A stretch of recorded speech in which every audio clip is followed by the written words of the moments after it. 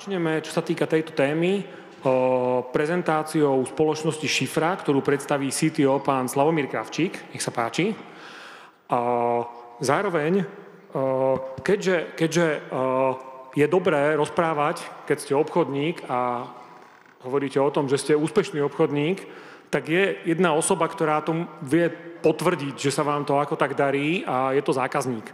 V tomto prípade sa spoločnosť Šifra rozhodla, že to takouto cestou spraví a preto by som ešte k pánovi Kravčíkovi pozval na pódium aj pána Juraja Šulhana, ktorý je generálnym riaditeľom spoločnosti Avis a debatu, ktorú, ktorú budú tak trochu s mojou drobnou účasťou páni viesť, bude okrem iného hovoriť aj o jeho kariérnom postupe, ktorý trochu súvisel s digitalizáciou.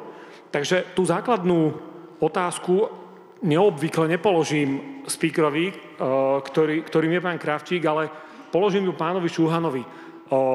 Keď, ste, keď sa začala vaša spolupráca, v akej ste boli ako, ako vtedajší, pokiaľ viem, obchodný riaditeľ situácii a ako vyzeralo vaše zadanie pre, pre šifru? Ďakujem pekne za pozvanie. To zadanie toho času bolo nájsť CRM providera takého, ktorý by nám vôbec povedal, čo toto CRM v tom momente je.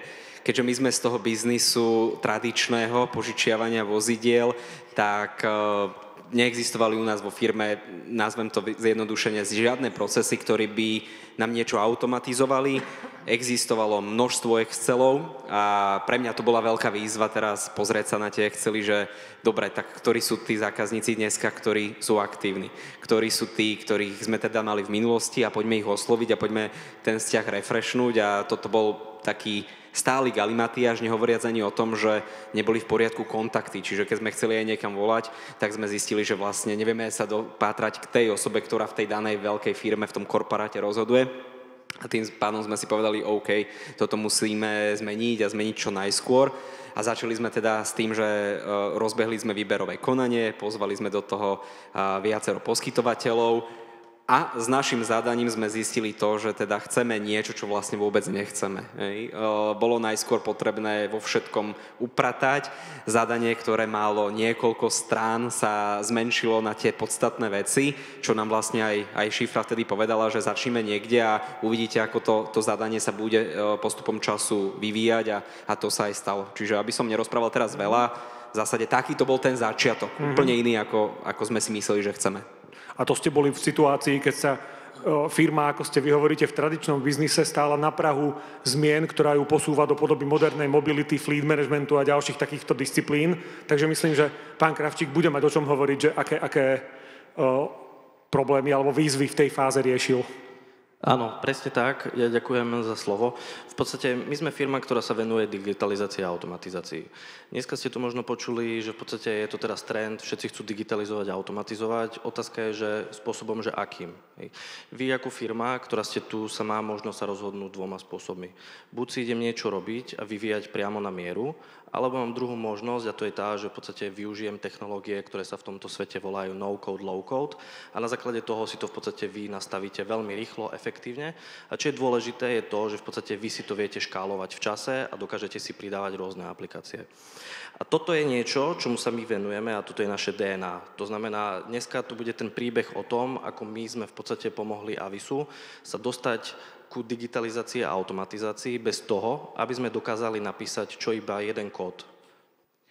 My, keď sme sa spoznali, v podstate prišli sme k tomu, bolo to výberové konanie, v podstate aj pán Šulhaň, keď sme sa s tým stretli, už aj vtedy on to videl, že v podstate bez toho, aby sa on posunul a začal si riešiť vlastnou low-code a no-code platformou, aby v podstate sa dokázal integrovať na účtovný software, aby sa dokázal účtovať na interný rezervačný systém, ktorý si vyviali na mieru, tak v podstate toto boli požiadavky, ktoré v podstate my sme potrebovali splniť a keďže sme sa tým zaoberali, tak to presne padlo do toho, aby sme to začali riešiť. Otázka bola tá, že v podstate, čo je to no-code? Ako som už spomenul, v podstate ten no-code je platforma, ktorá v podstate neznamená, že žiaden kód. Ona v podstate znamená, že v podstate vy nemusíte písať žiaden nový kód. To znamená, že dneska ste tu mali možnosť vidieť úžasné technológie. Boli tu pred chvíľou smart mailing, mali ste tu dneska doklado, mali ste tu, dneska máte tu IPEX, máte tu Abru a podobne. A toto je niečo, čo v podstate vy dokážete spolu integrovať do jedného systému a nasadiť do procesu. A toto je to, čo robíme právom, právom my. Dobre, aby sme sa dostali k tomu príbehu, čiže my sme sa stretli v roku 2018, tá požiadavka bola na digitalizáciu a v podstate prvé zadanie, ktoré sme v podstate my prešli, bolo to, že v podstate potrebujeme nastaviť úplne nový objednávkový systém. To znamená od spôsobu, od toho, že keď vám si zákazník objedná vozidlo z webu až po v podstate dodanie do zmluvy. Ako ste to vnímali, pán Šuláň? A otázka je možno tá, že čo boli hlavne také tie problémy? Prečo práve pre tento proces ste sa rozhodli úplne na začiatku? Ono, keď s tým človek nemá skúsenosti, ono je veľmi ťažké povedať, že čo je to riešenie, čo potrebujete. A dobre bolo práve to, že tie, tie požiadavky sa vyvíjali v čase a identifikovali sme z pohľadu, z pohľadu firmy to, že táto časť, tento segment toho, čo robíme, bude tú digitalizáciu vyžadovať najviac, presne ako to tu zaznelo pred chvíľou, pretože to bude zákazník potrebovať. Čiže jedna vec bola tá, že my si myslíme, že by bolo dobré dať do poriadku, druhá vec bola tá, že začneme presne od toho zákazníka, tu je vlastne ten práve aj proces popísaný tak, aby zákazník nemusel teraz niekam vyvolávať, niekam posielať maily, čakať, kým mu niekto odpíše, pošle sa nejaká objednávka, ktorá možno obsahuje nejakú chybu, niečo iné, ako videl na internete, aby schvalovanie zákazníka netrvalo celú väčšnosť, pretože práve tak ako banky požičiavajú peniaze a potrebujú si, to, potrebujú si toho zákazníka preklepnúť, my vo forme auta takisto požičiavame peniaze, pretože to auto stojí nemalé prostriedky, čiže tiež si vyberáte toho zákazníka, potrebujete v tom pozadí teda e, poznať nejakú tú jeho bonitu, následne mu posielate nejakú zálohovú faktúru, potrebujete zavidovať, či sa uhradila, následne mu posielate zmluvu, tu ideálne, keby vedel digitálne podpísať, zase v systéme na jednej strane, na druhej, aby sa tá zmluva niekde nestratila. A proste bol to nejaký proces, ktorý možno v 2018, čiže skôr ako sme začali, trval dva, tri týždne, pretože presne to bolo o tom, pošlime zákazníkovi zmluvu, čakáme, kým sa zmluva k nám vrátila a skutočne, keď vy ste sa chceli dostať tomu autu, na, nedaj, pardon, aj tak keď bolo u nás na sklade, tak trvalo to, trvalo to možno kľudne aj tie 3-4 týždne. Áno. Otázka je tá, ako to vyzeralo potom. Čiže v podstate vy si vezmete, ako vral teraz pán Šulhán, príde vám objednávka, príde vám do mailu, obchodník si potrebuje otvoriť nejaký template Wordu v, na počítači, pošle ponuku, čaká, v podstate zákazník či reaguje, komunikuje cez Outlook, potrebuje vygenerovať zálohovú faktúru. Tú zálohovú faktúru potrebuje poslať na ekonomické oddelenie a na základe toho od ekonomického oddelenia vám chodí automatický e-mail. Ten e-mail vám rozpráva, kto vám poslal peniaze, úhradu, vy si to párujete, na základe tomu zákazníkovi vravíte, úhradu sme prijali, máme to, generujete zmluvu a tak ďalej. Toto celé sme v podstate zautomatizovali tak, že v podstate obchodník sa momentálne venuje iba klientovi a aby to nebolo v podstate iba o tom, že áno, je to automatizované, toto sú momentálne že fakty. Tie fakty, ktoré rozprávajú, sú to, že v podstate my sme dokázali tým, ten proces, ktorý tam je, to znamená, dokázali sme ušetriť a v podstate da, eh, Avisu okolo troch, mende, troch FTE mesačne, to znamená, pán Šuhan v podstate nepotreboval riešiť a vyberať nových zamestnancov, ktorí budú riešiť tú administratívu, ale ten systém to robí za to. Otázka je možno tá, všetci sa na to pozerajú, že v podstate digitalizácia a automatizácia nám berie prácu. Otázka je možno tá, s čím sa my stretávame vo firmách, že tie firmy a tí zamestnanci sú na hrane. To znamená, oni momentálne riešia e, veľmi veľa administratívy a nemajú čas sa sústrediť na to, aby im niekto pomohol, ako im zobrať tú prácu. A ten správny ukazovateľ, ktorý by mal byť, je ten, ktorý je dole, to znamená, že my dokážeme zvýšiť efektivitu obchodníka. V roku 2019 VIS alebo Avisu sa podarilo spracovať 229 zmluv v rámci jednej divízie Maxirentu krátkodobého predajmu. Teraz ten istý obchodník, tí istí ľudia spravili za minulý rok 622 zmluv. To znamená, tá efektivita, ktorá sa zvyšila, je vyjadrená cez 200 ja v čom vidím najväčšiu tú pridanú hodnotu je práve to, že keď vidíte e, človeka, ktorý sa trápi, má vám reportovať a v zásade v tom reporte je veľmi málo toho, čím sa on vám vie predať, že čo všetko postíhal. Vtedy, keď on povie, že nemá čas, lebo vyrábal som zmluvu, alebo, alebo teda venoval som sa nejakému lidu, dneska je to tak krásne automatizované, že, že neexistuje, že proste nevenuje sa tomu obchodu, pretože všetko to na pozadí nemusí posielať asistentke, konateľovi a klientovi, čakať, kým to prišlo, v zásade je zvládnuté. Čiže príde ten lead, príde tam možno nejaké presvedčenie, nejaký, nejaká, nejaká tá konzultácia s klientom a v zásade všetko ide automatizované. Hlavne nič sa vám nestratí, hlavne žiadna chybovosť. To, to, to sú skutočne veci, ktoré mimo tej automatizácie tiež my dneska oceňujeme a ani o tom nevieme, ani o tom nerozprávame. Ono znie to tak, že, že toto je doba, keď sa to asi hodí, lebo vaša branža sa posúva od naozaj jednotlivých transakcií požičiavania aut do oblasti zdieľanej mobility, kde v podstate naozaj sa tieto transakcie, tie výpožičky alebo tak budú musieť zautomatizovať takmer na podobnú úroveň, ako keď človek, keď to veľmi zjednoduším, v rámci používania verejnej dopravy prestupuje z jednej linky mestskej hromadnej dopravy na druhú skoro. Ten biznis model sa mení, auta za posledné tri roky väčšina z vás určite vie, čo sa udialo. Zdražili v desiatkách percent, niektoré auta sú pomaly dvojnásobne drahšie ako boli a pri tých nákladoch, ktoré máme v, v živote v samotnom, tak auto sa stáva absolútne nedosiahnutelným pre, pre veľké množstvo ľudí. Čiže to zdieľanie áno a preto aj ten náš biznis segment sa veľmi, veľmi rýchlo transformuje, čo je zase príležitosť pre tých, eh, ktorí ktorí začali digitalizovať, začali mať nejaké takéto jedno riešenie, ktoré im začalo nejakým spôsobom upratovať tú firmu, že získajú obrovskú, obrovskú konkurenčnú výhodu a hlavne my to nazývame tak modulovito podľa potreby vedia napájať to, čo je dneska trend. Čiže áno, je trend email marketing a doteraz sme to robili nejako, tak nasadím si nejaký nový modul, nejaké nové riešenie a zase vôbec ma to netrapí, ide to automatizovane. Dobre, aby náš príbeh pokračoval ďalej, tak v podstate my sme stále iba v roku 2019 a my spolupráca pokračovala ďalej, bola úspešná, obchodníci to ocenili, ktorí začali používať ten e, systém a tú automatizáciu. V podstate dostali sme sa do roku 2020. Rok 2020, ďalší ten bod, ktorý bol, bol v podstate zameraný na to, že potrebovali sme vyriešiť proces reklamácií. To znamená tak, aby v podstate ten obchodník, keď sa odovzdá auto, s ktorým sa jazdí a keď zákazník napíše nejakú reklamáciu, aby všetko bolo na jednom mieste a automaticky, aby to bolo zaevidované a aby v podstate dostal zákazník notifikáciu, aby vy ste si to vedeli delegovať ďalej. Zároveň v tom danom momente bola aj tá požiadavka, aby v podstate sme sa venovali e-mailovej e, marketingovej databáze, pretože vy, keď to máte v Exceloch, tá databáza nie je aktuálna.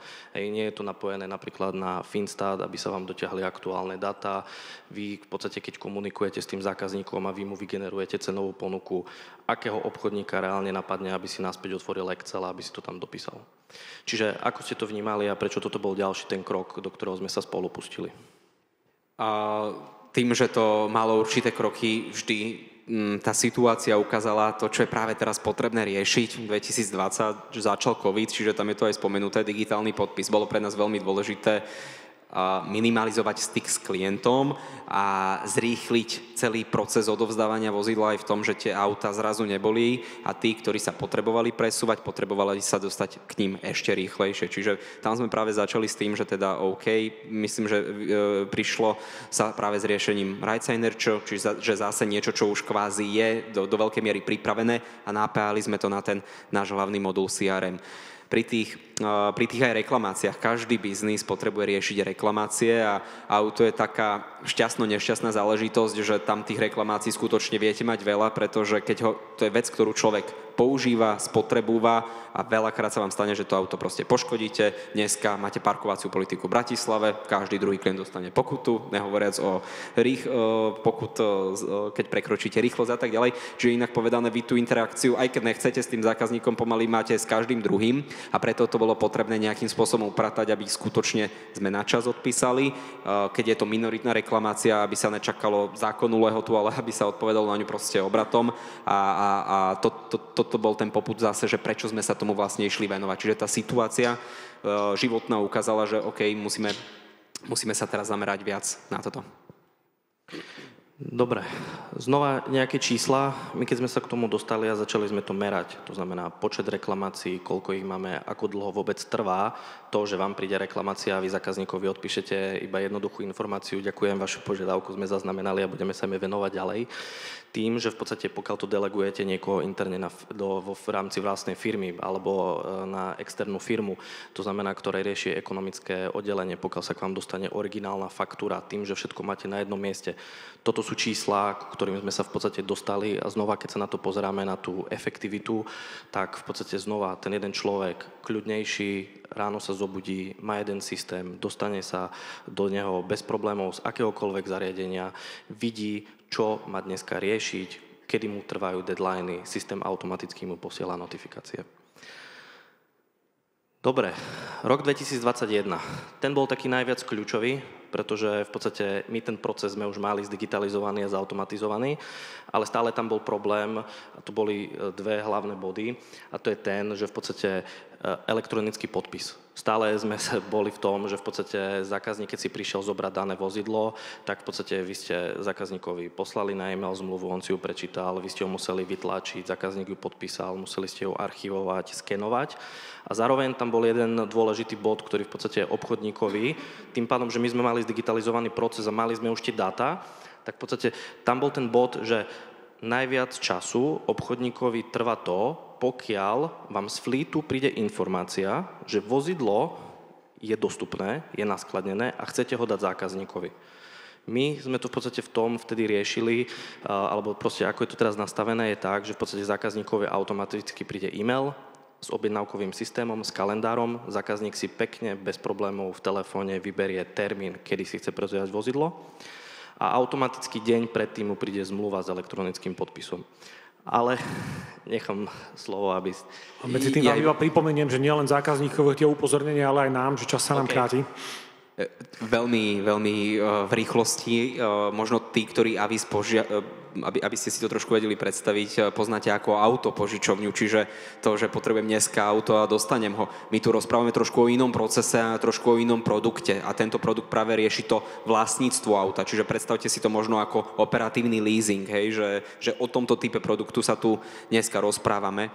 No a veľmi, veľmi to skrátim, uh, bolo kľúčové dostať práve tento operatívny leasing, čiže tieto auta na dlhodobý prenajom čo najrychlejšie k zákazníkovi a preto bolo potrebné zase, aby bolo všetko v súlade s GDPR, proste aby ten zákazník videl podstatné v tom tablete, keď ide niečo podpisovať, vyťahnuť tam tie najpodstatnejšie dáta, aby podpis, ktorý o, tam dáva, v zásade bol chránený, aby sa nedostal, aby sa nedostal niekam a nebol zneužitý, aby bol notifikovaný o všetkom, aby dostal v automatickom okne kalendár, kedy si chce to auto vybrať, aby, aby mal hlavne na konci dňa z toho pocit, že to prebehlo bez toho, že ho niekto spamuje, že mu niekto vyvoláva a, a skutočne, že termín, ktorý si zvolil, bude platiť, že to nerobí blind, hej, dojdem, bude, nebude.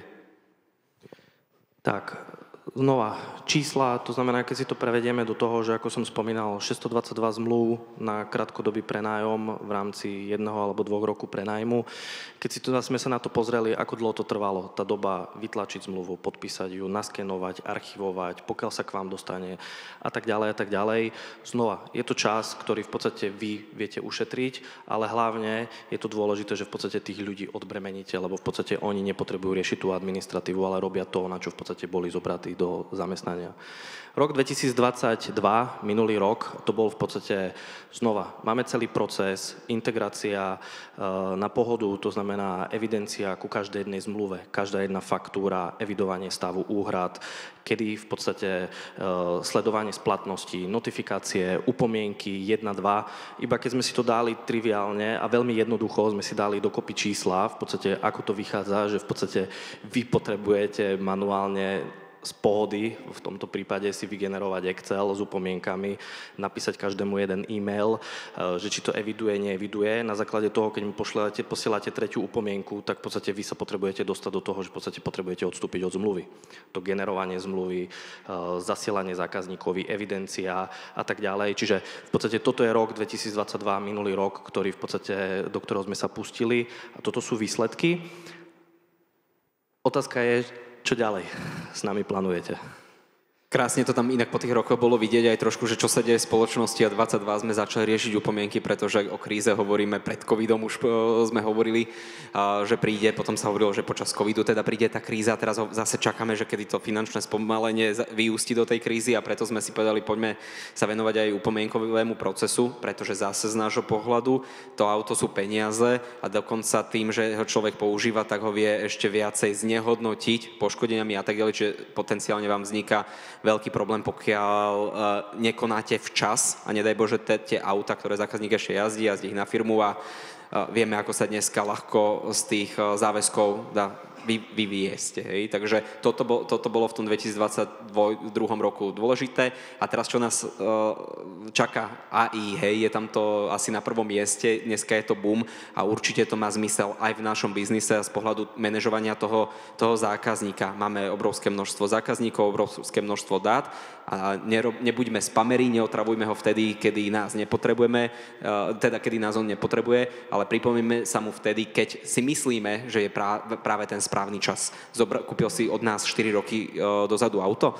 4 roky je štatisticky ten rok, kedy začínajú predovšetkým firmy zvažovať obmenu. Tak sa mu pripomeňme v nejakom roku. A nech to urobí rovno umelá inteligencia, nech vie, aké jazdil vtedy auto a nech mu ponúkne niečo alternatívne. Hej? Čiže toto určite, toto určite bude záber na tento rok. Tak, Otázka je tá, že AI, všetci rozprávajú, alebo možno ste to zaevidovali, uh, je to ChatGPT. Otázka je, že ako ho možno integrovať v rámci firmy. No, najdôležitejšie z toho celého je, je v podstate mať vo firme zmapovaný proces od A po Z, zbierate dáta, a potom je to už veľmi jednoduché. Pretože vy, keď si vezmete, a teraz v podstate funguje to, že boli tu, tuším, na prezentácii Scribisu alebo Finstat, keď sa robí schváľovací protokol, vy si stiahnete účtovné uzavierky od tých firiem. Ale pozera sa na to niekto tak, že v podstate my máme históriu firiem, ktoré u nás prestali platiť a ktoré to sú, Prečo to nemôže AI povedať, že už keď tie dáta máme, že v podstate áno, tu na navrhujeme, že trojmesačný depozit, aby ste si mohli zobrať vozidlo, ale toto je na 90% rizikový zákazník, ktorý prestane platiť v čase.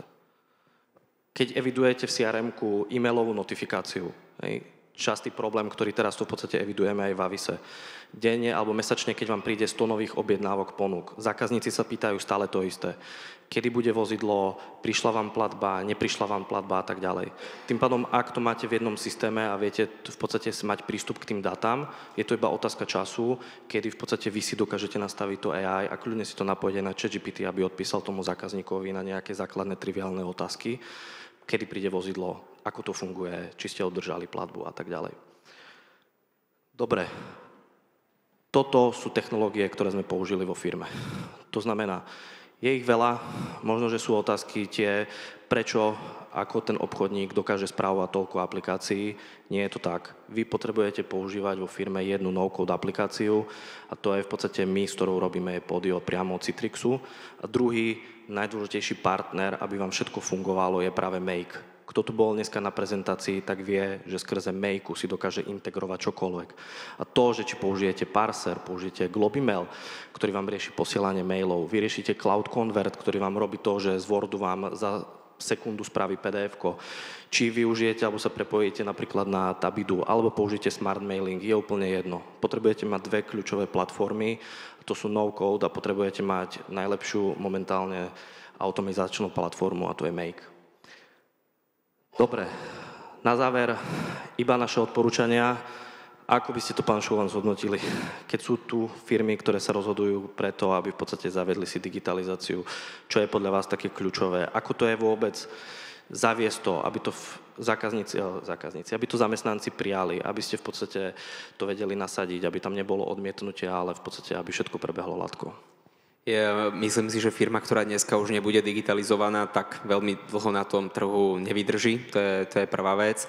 Nové firmy, ktoré dneska len začínajú, tak majú obrovskú výhodu, pretože nie sú zaťažené starými systémami, databázemi a neviem čím, čiže je, je dobré naskočiť už práve do nejakého riešenia, ktoré podľa potreby sa bude rozrastať.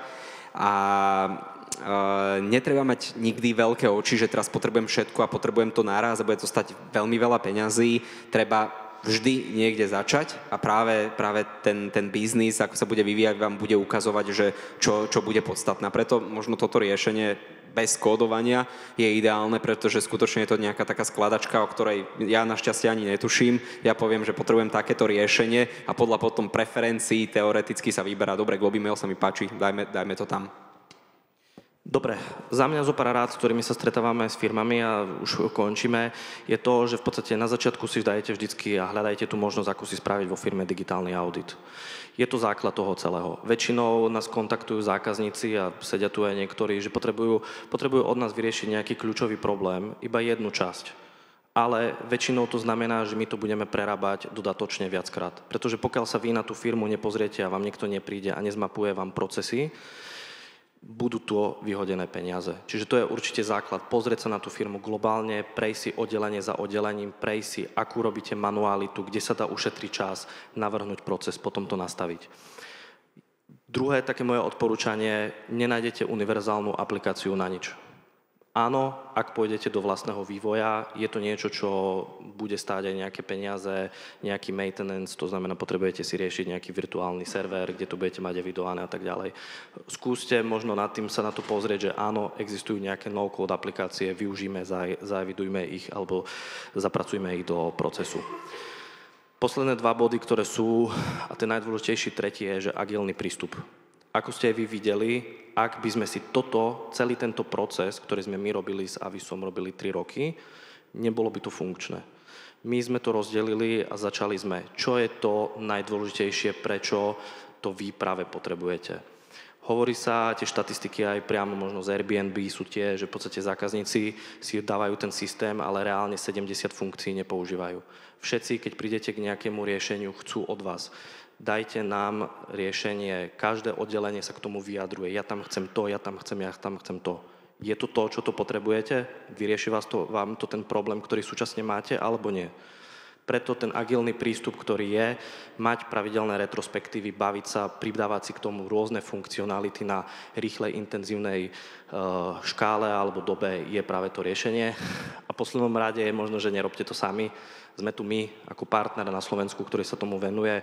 Máme stánok na tej chodbe, čiže bude tam aj pán Šuláň, ak sa chcete porozprávať, ako si viete v podstate digitalizovať firmu prostredníctvom no-code, low-code aplikácií, tak sme tu pre vás.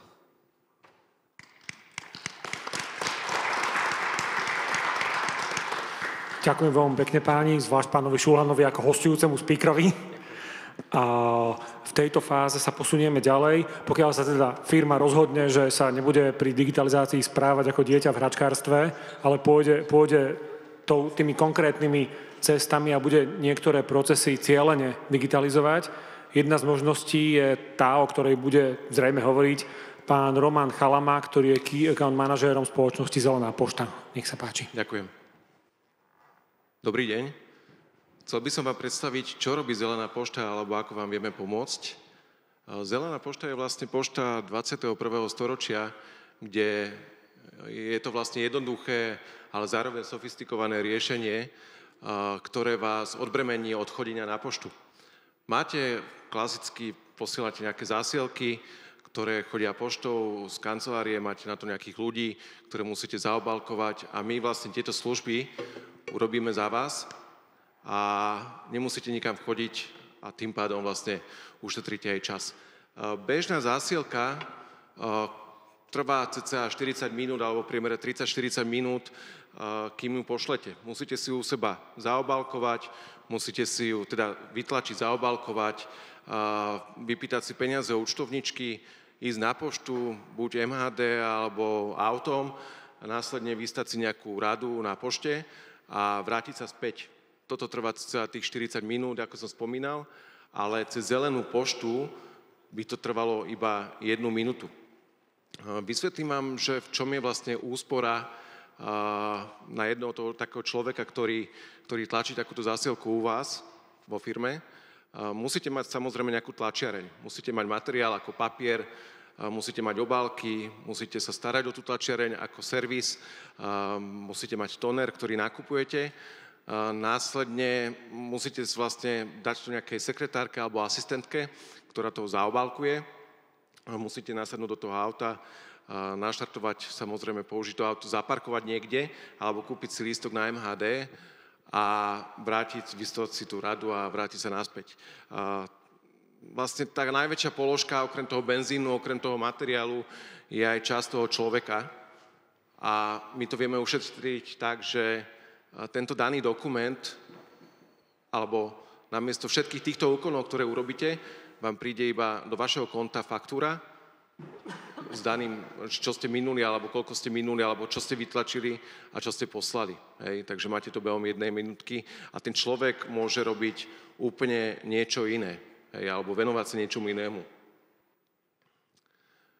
Normálne riešime klasicky také bežné rutiny ako tých asistentiek alebo obchodníkov alebo ktorého, ktorého iného človeka je denná pošta. Denná pošta je vlastne nejaká rutina, či posielate nejakú faktúru alebo posielate nejaký iný dokument svojmu klientovi a vy si to môžete zhromažďovať u nás v dennej pošte, kde tieto zásielky sa vám tam hromadia, odošlú naraz a týchto 10, 20, 300, 500 zásielok jednoducho pošlete na spracovanie, kde u nás to centralizovanie vlastne tlačíme a tieto zásielky, jak vytlačíme, podávame za vás na poštu.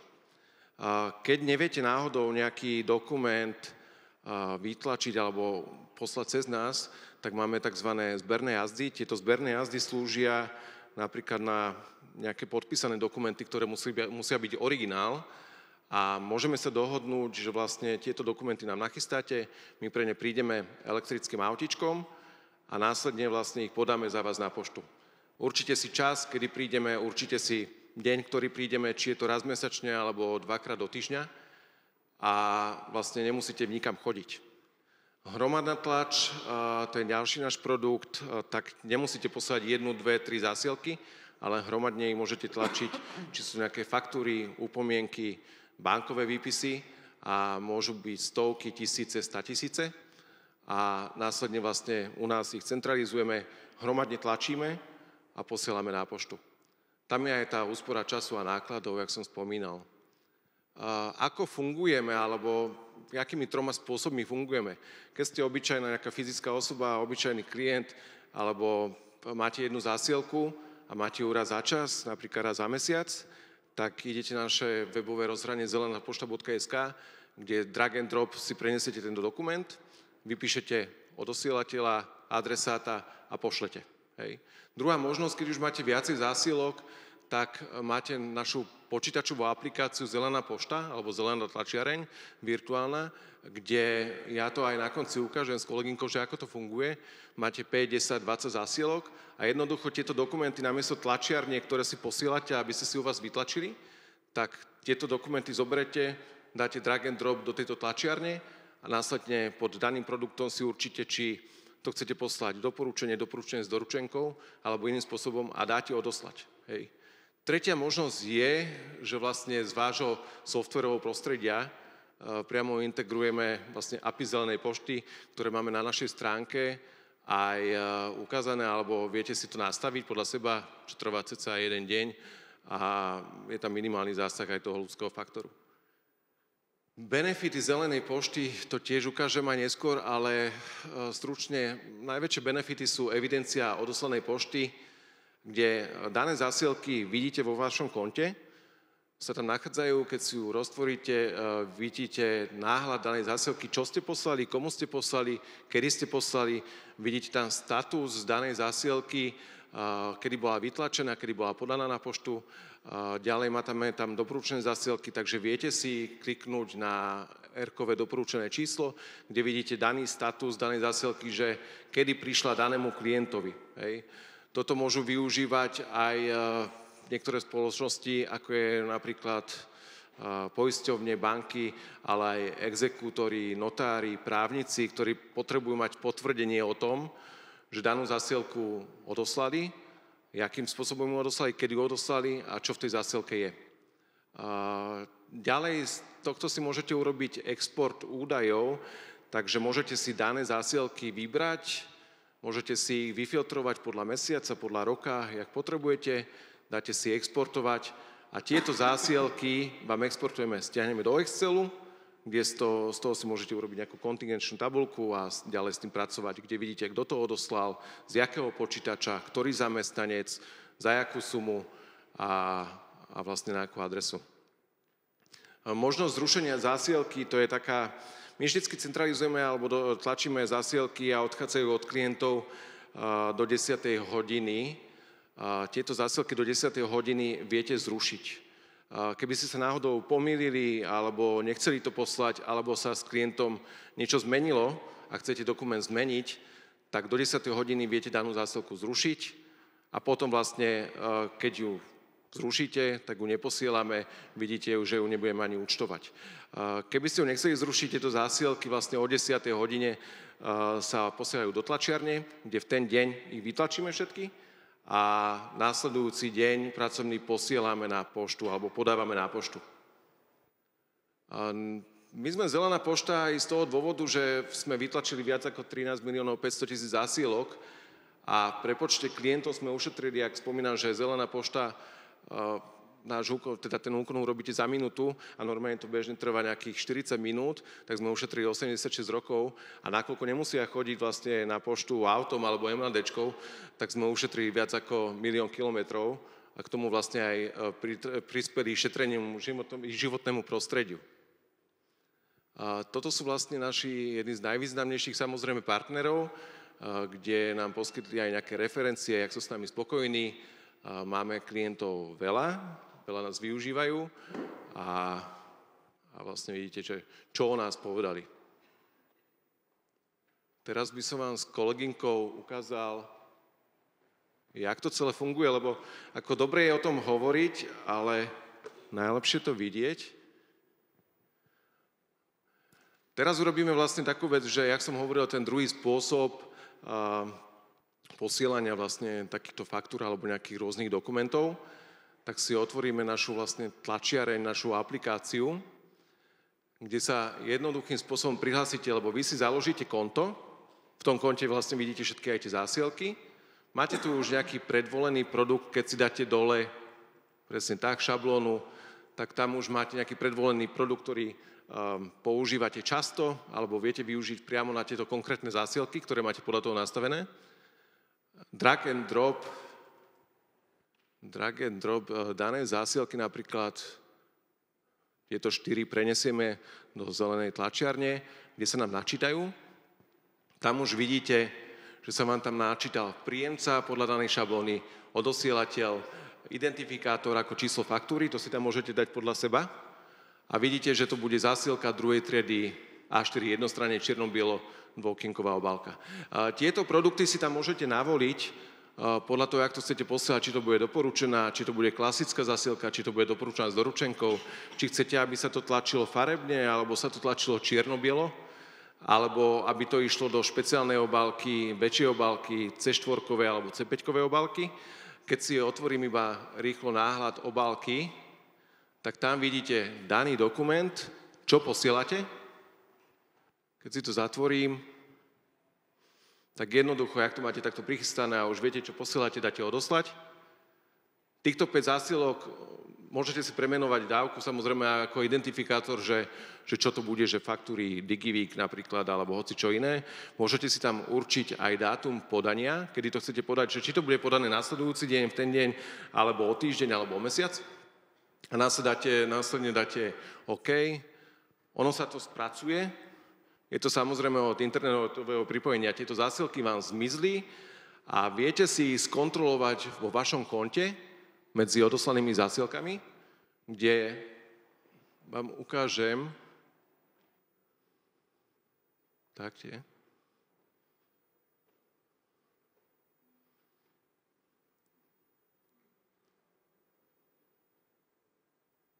Daj vypnú, zapnú prípadne.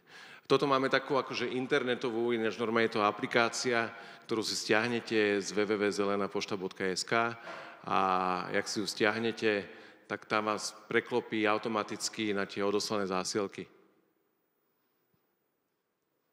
Daj si celú vypnúť a daj si to znova, prosím ťa. Ne, tak. Ale fungovalo to, keď som si to skúšal. dáme prihlásiť, dáme ešte raz odoslané zásielky, lebo vlastne vy už v tom konte ich máte a oni nikam nezmiznú. Dobre, tak teraz... Kým sa krúti, položím medzi otázku, ktorá medzi tým prišla. Využijeme čas. Je veľmi krátka. Funguje tá aplikácia rovnako aj v mekovskom prostredí? Akom? Na mekoch. Áno. Uh-huh. Áno, táto verzia konkrétne áno. áno uh-huh. Jasné. Aj sme dali technológií dostatok času?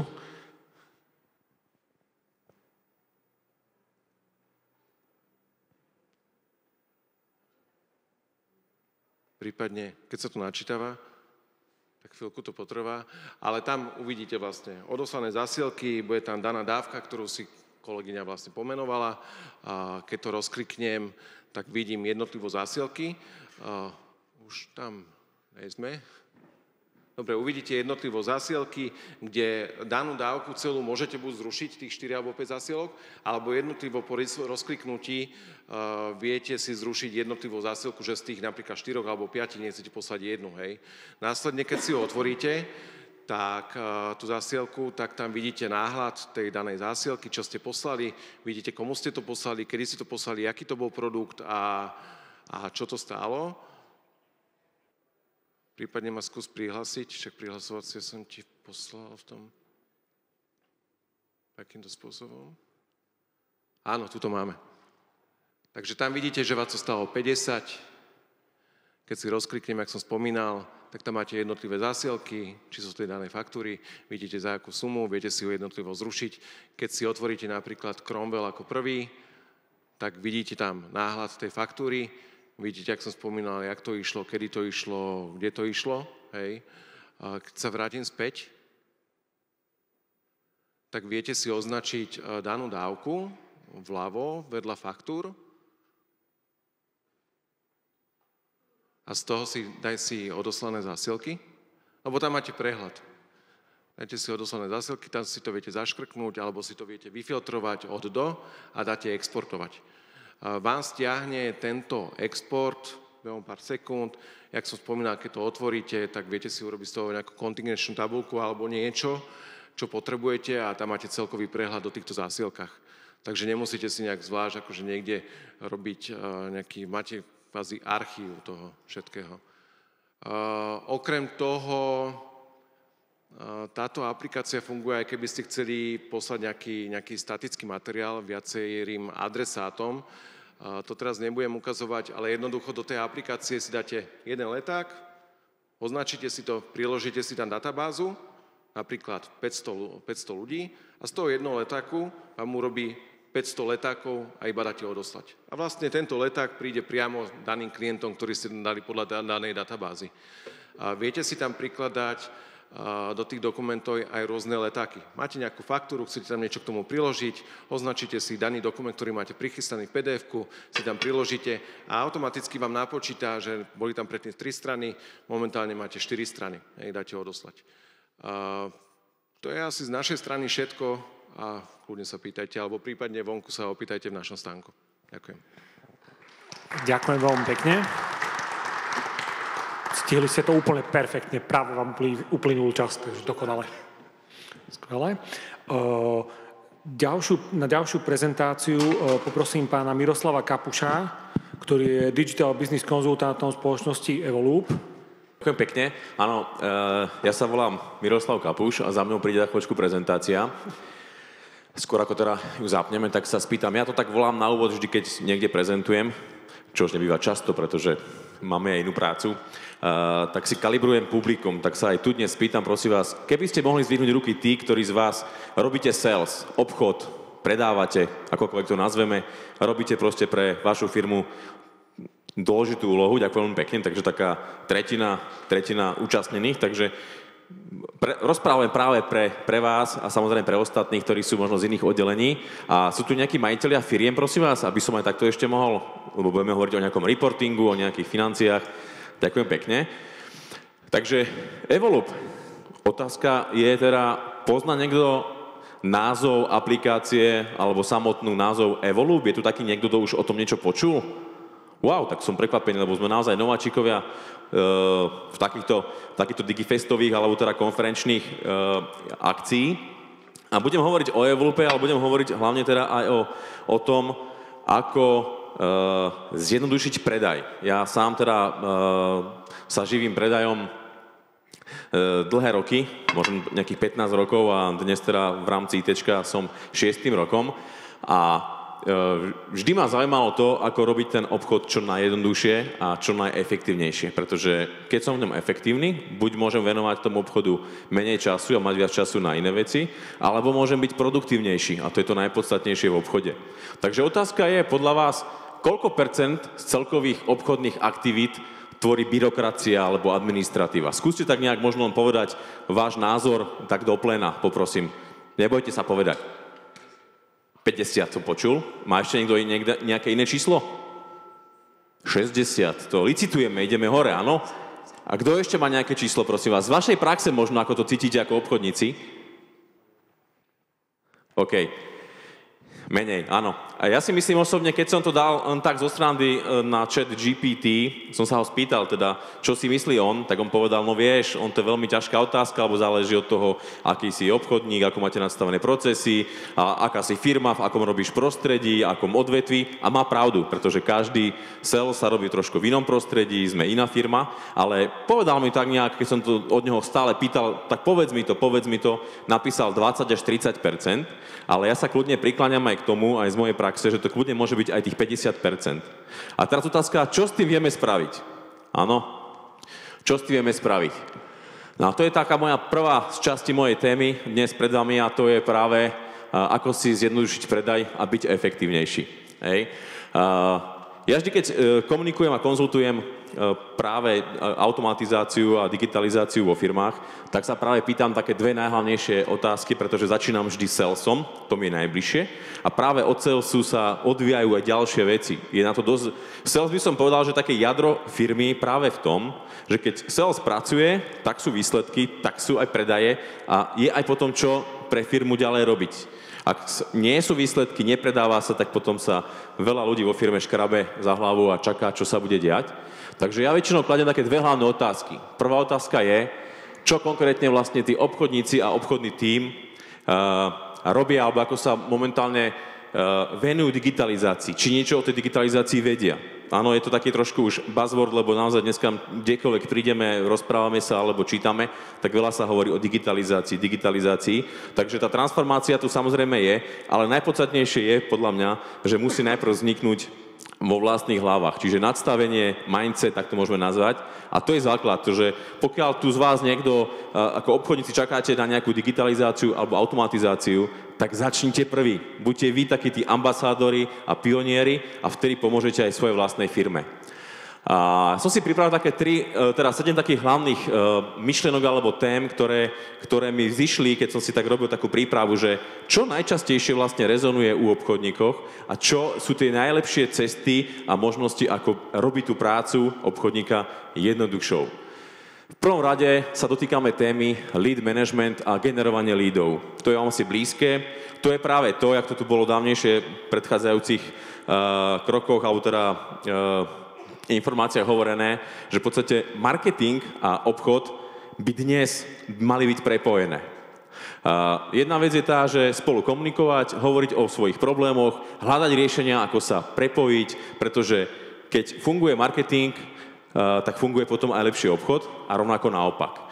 Čiže generovanie lídov je jedna z tém, ktorá je veľmi dôležitá a tomuto takisto vieme spraviť veľmi zaujímavé prepojenia, automatizácie, ktoré sú za tým. Napríklad môže byť veľmi zaujímavé, čo používame u nás, aj v rámci Evolupu. Ako náhle nám niekto vyplní webový formulár, tak v tom momente za tým ide automatizácie z už viackrát spomenutú e, aplikáciu alebo teda platformu Make. Príde zákazníkovi mail, kde dostane informáciu, že mu ďakujeme, že prejavil záujem o bezplatné využitie aplikácie zdarma na 30 e, dní.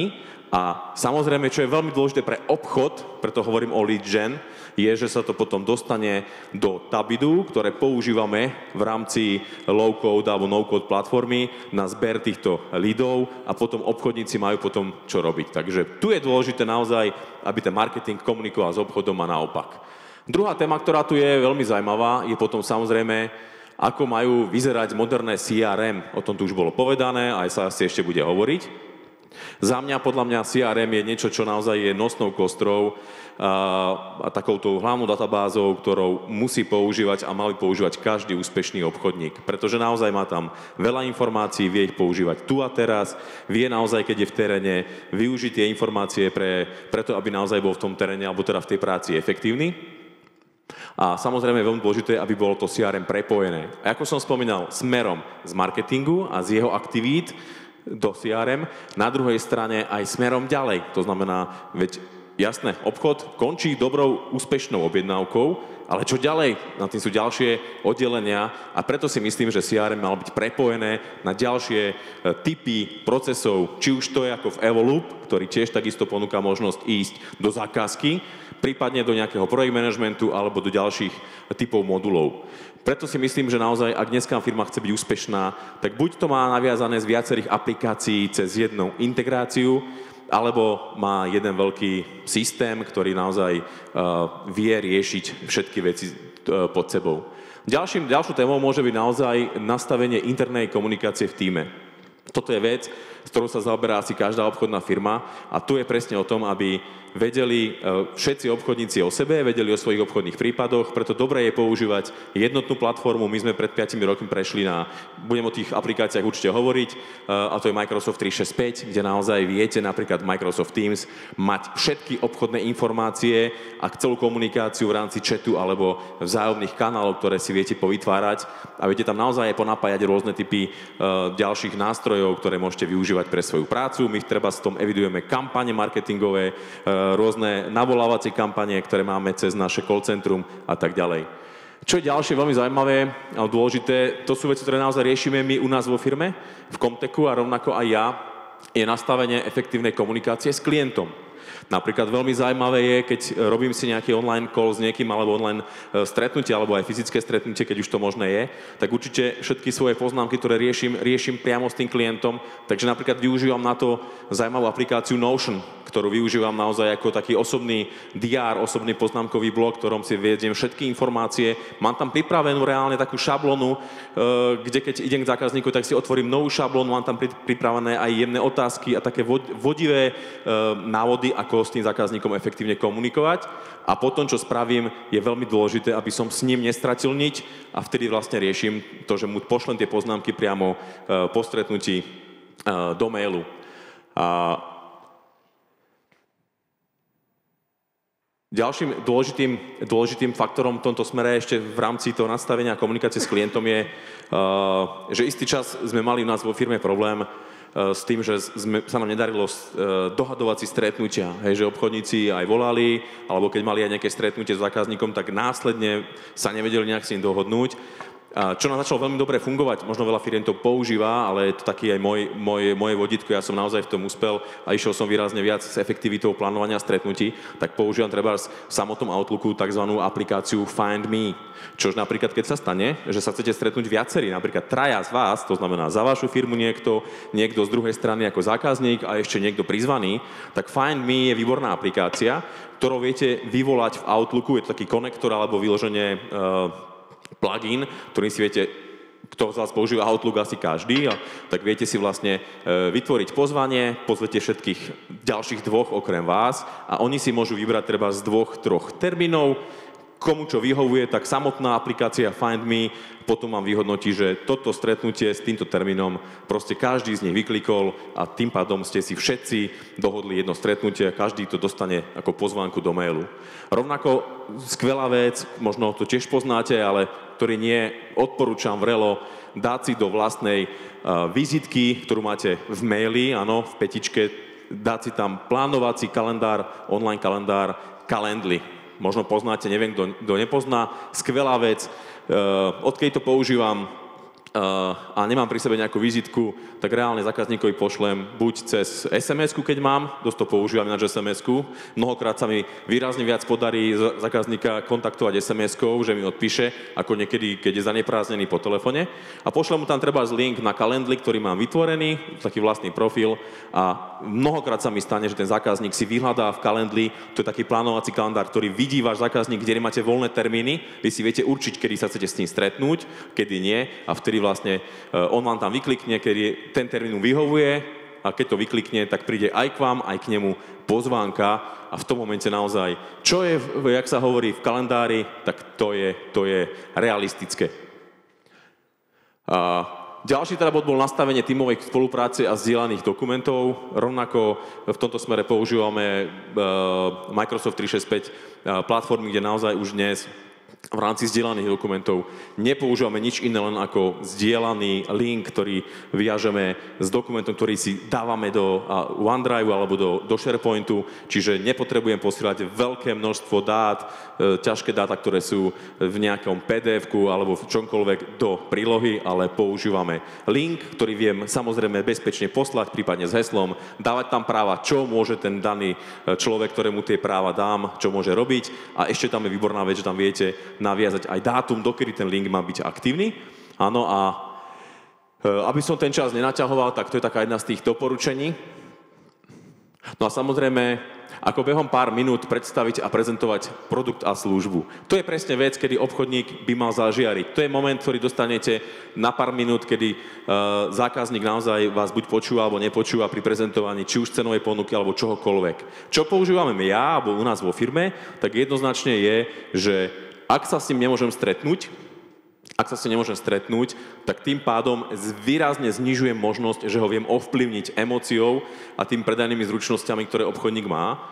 Tak robím aspoň to, keď to chce do mailu, tak jednoznačne e, spustím si jeden z typ aplikácií, ktoré používame, to je Loom, prípadne Demio alebo uh, Vimeo a nahrám svoju plochu aj s mojim pokecom, aj s mojou fotografiou, alebo teraz videom, nahrám mu na nejakých 5 minút a posielam mu to e, do mailu ako link. Skúste si to, je to výborná vec, dokonca bezplatné aplikácie a to e, ten Loom je skvelá vec, že naozaj, on tam vidie vašu tvár v takom nejakom koliečku, je tam presne tá prezentácia, ktorú pekne viete opísať a zanecháte aspoň ten dojem, keď sa skúsite spýtať vlastných kolegov alebo obchodníkov, toto používa naozaj, budete tým jedineční, lebo stále to ešte nie je tak používané.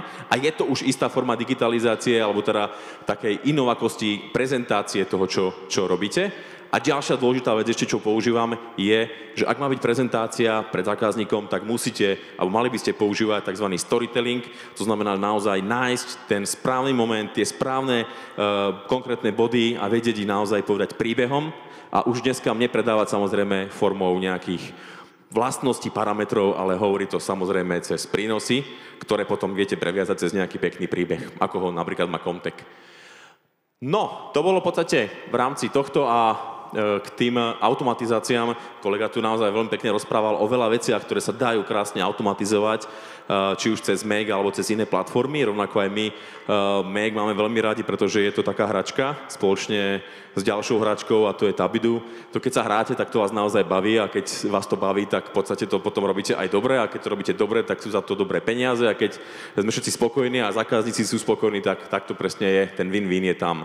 U nás naozaj vieme automatizovať e, rôzne typy procesov, či už to je zapojenie, napojenie digitálneho podpisovania my sme sa proste jedným rázom rozhodli, že už žiadnu zmluvu nepodpíšeme fyzicky. Je to opäť mindset, čiže keď to my si rozhodneme tak spraviť, tak aj zákazník to počúva, že aha, to je trend, je to v poriadku, hej, pretože obchodná zmluva nie je nič, čo by sa v podstate muselo riešiť úplne certifikovane, áno, ale stačí na to jednoducho digitálny podpis, používame rôzne platformy, napríklad to Signy, poznáme rôzne ďalšie, DocuSigns, Adobe to robí takisto, alebo aj tu slovenský z Anasoftu, OK dokument, jak dobre, dobre spamätám. A rovnako takisto skvelá vec je potom prepojenie cez rôzne iné crm ktoré práve vedia automatizovať ten proces vo forme notifikácií, že naozaj obchodník nezabudne, čo má spraviť, že ho upozorní, že mal tam už volať, alebo ho upozorní, že má ísť na stretnutie. Kto bude v podstate k tej prvej časti? No a samozrejme otázkou je, ako zvýšiť efektivitu predaja s aplikáciou Evolup. A teraz v podstate v krátkosti poviem trošku bližšie k tomu Evolupu. Je to webová aplikácia, čiže je to cloudová aplikácia, ktorú si môžete spustiť. Či cez uh, webové rozhranie priamo v počítači, v notebooku, v tablete, v telefóne, v čomkoľvek, čo naozaj môžete použiť aj v teréne. Uh, je to, je to uh, aplikácia, ktorá je práve pre prácu v CRM, čiže pre obchodné týmy, ale rovnako Evolu ponúka oveľa, oveľa viac. Má momentálne 8 modulov, 9 momentálne prichádza do produkcie, ktorý potom neskôr prípadne vieme v rámci nejakej prezentácie na našom stánku eh, odprezentovať. Na, na je modul číslo 9. vzhľadom na čas. Výborne, to je super. Toto mám rád, tento tlak, ale dám si len 2-3 minútky a, a vybavíme to. Ľudia Takže menej. samozrejme, samozrejme uh, adresár firiem nemusím spomínať, pretože naozaj je to kostra toho, aby ste mali všetky údaje o firme uh, u seba, čo je super. Uh, Evolu ponúka tú možnosť, že si viete uh, jedným klikom cez ičo nahrať tú firmu, keď zakladáte novú firmu, tak nahrať z Finstatu, čiže to prepojené s Finstatom a ešte vám to dáva informáciu, či tam daný zákazník je alebo nie je dlžník, tým pádom tam prichádza samozrejme vykričník, čo s ním v rámci potom fakturácie alebo objednávky robiť. Cenové ponuky, veľmi silný modul, ale o tom budem hovoriť ešte v krátkosti v poslednom slajde. Obchodné prípady, ktoré rovnako teda tvoria súčasť toho CRM práve tým, že si viete pozrieť, v akom stave vaše obchody sú, pretože to zaujíma každého obchodného manažera a majiteľa, a aby ste naozaj vedeli, že e, ako firma je perspektívna v rámci ďalšieho uzatvárania objednávok. Čo je, vyberiem z toho tie najpodstatnejšie veci, ktoré vás môžu zaujímať, tak je výborná, výborná časť modul, ktorý sa volá Service Desk, čiže ak tu niekto z vás má nejaký svoj servisný tým alebo má eh, tým supportiakov, ITčkárov, áno, tak je to skvelý nástroj na spravovanie eh, tiketov alebo servisných požiadaviek. Čo je na tom super, funguje to veľmi jednoducho, až minimalisticky, že ako náhle sa k vám dostávajú rôzne typy požiadavek od zákazníkov, áno, tak tu funguje jeden zberný e-mail, na ktorý vám zákazník napíše a všetko sa zhrnie do tiketovacieho systému. Jednoduchý, uh, ak by ste ho potom chceli vidieť na stánku, tak ľudia vám ho viem odprezentovať. A z tých ďalších vecí potom samozrejme, ja vás nechcem zdržiavať, uh, sú možnosti pozrieť si to na našej stránke evolu.sk. No a ešte z posledné, poslednú, posledný, poslednú časť, čo tu máme, jak som spomínal, len prezhrnutie. Finstat, skvelá vec, napojenie na zber všetkých údajov, ktoré potrebujete o zákazníkovi. Je to jednoduchá tvorba cenových ponúk, ktoré v podstate viete ťahať zo šablón. Čiže vy, ak ste obchodníci, ktorí máte pravidelné nejaké typy cenových ponúk, ktoré vyzerajú približne rovnako, tak si viete vytvoriť šablóny a potom jednoducho ich viete používať jedným klikom a vytvárať si nové cenové ponuky. Eh, rovnako keď už ste firma, ktorá má nejaké vlastné cenníky alebo vlastný cenník produktov, katalógových produktov, tak všetko si viete naozaj pripraviť priamo v Evolupe a potom jedným klikom si to ťahať v rámci cenovej ponuky a eh, tu vám jednoznačne cez až približne 2,5 násobok eh, času skráti práve takéto niečo, čo sa dá pripraviť priamo u nás. Samozrejme, viete si počítať maržu, všetko naozaj je transparentné, čiže viete, čo je dôležité pre finančníkov alebo, alebo majiteľov, si pozrieť ziskovosť s akými e, hrubými ziskami alebo ziskami vaši obchodníci a maržami pracujú, čo je veľmi dôležité, aby sme nerobili ponuku len pre ponuku, ale chceme samozrejme na tom zarobiť.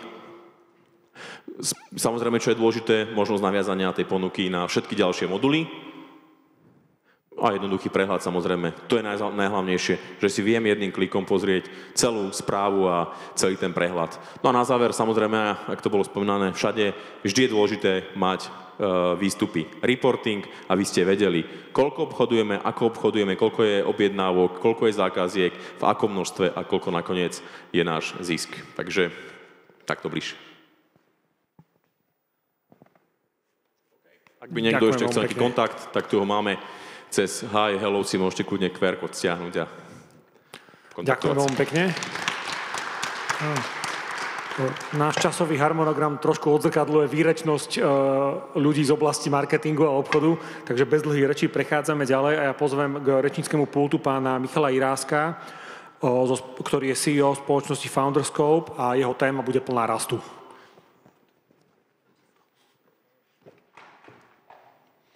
Dobre, super, ďakujem. E, takže ja by som sa v môjom príspevku venoval téme ako zvyšovať rast alebo ako objavovať zdroje rastu vo firme.